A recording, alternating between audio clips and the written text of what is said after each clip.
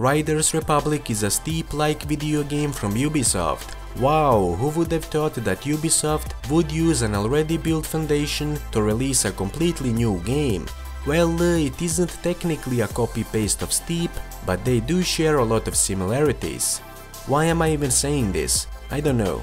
Probably because I couldn't think of any better introduction, so I had to mock them for trying to make something different.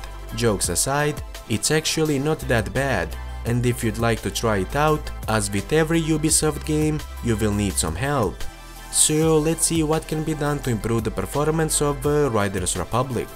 This is not a typical benchmark video that will show you what it's like to play the game on certain hardware, this is a video that will show you what it's like to improve the performance of the game on certain hardware. Before we proceed with the optimization process, uh, you will need to download and install the low specs experience. The download link can be found in the description of this video. Low Specs Experience is a game optimization tool that I developed uh, that will allow you to optimize your favorite games for maximum performance. So first of all, start the installation process for the Low Specs Experience. Once it's done, uh, start it from the newly created desktop shortcut and uh, select the optimization catalog. From the top of the menu select the applicable digital platform and then uh, select Riders Republic from the drop-down menu. Once that is done, uh, press uh, load the optimization package.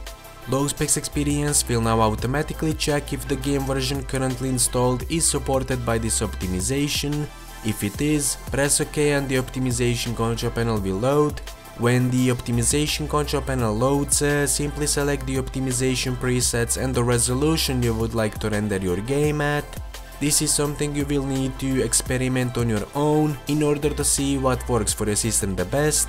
Once you decide which optimization presets and resolution you are going to use, press the execute optimization button and then uh, start your game.